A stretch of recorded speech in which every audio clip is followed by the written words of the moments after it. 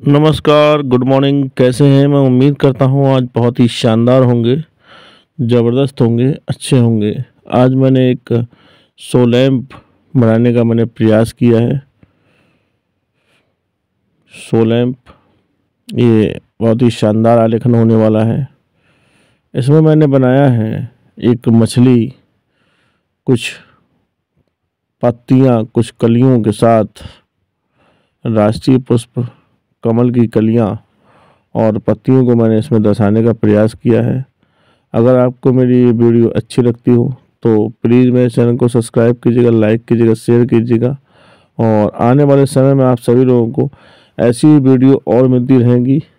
और मैं थैंक्स करना चाहूँगा आप सभी लोगों का, जो लोग मेरी वीडियो में बने रहते हैं और ऐसे ही बने रहेंगे। मैं उम्मीद करता हूँ, आशा करता हूँ वीडियो में बने रहने के लिए थैंक यू। आप सभी लोगों का धन्यवाद। Thank you thank you